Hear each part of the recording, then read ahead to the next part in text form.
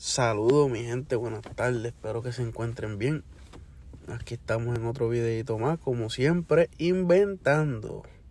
Así que ya tú sabes, vamos a hacer hoy unos pastelitos boricuas en hoja de plátano, mi gente, no se lo pierda. Así que sigan viendo, sigan viendo, mi gente. Vamos primeramente vamos a preparar nuestro sofrito, que lo vamos a preparar en nuestra casa.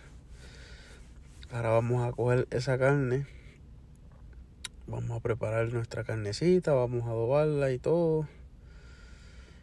Para ponerla a hacer, vamos a picar ese jamoncito que le vamos a estar echando a los pasteles. Vamos a echarlo ahí junto con la carne. Ahí vamos a echarle sofrito que hice en casa. Sofrito hot made, mi gente. Vamos a estar echándole un poquito de ajo en polvo. Un poquito de sazón Vamos a estar meneando, después vamos a estar echando el jamoncito. Ahí tenemos jamón de cocinar. tenemos la yautía, los guineos. La calabaza ya la tenemos ahí picadito también allá adentro.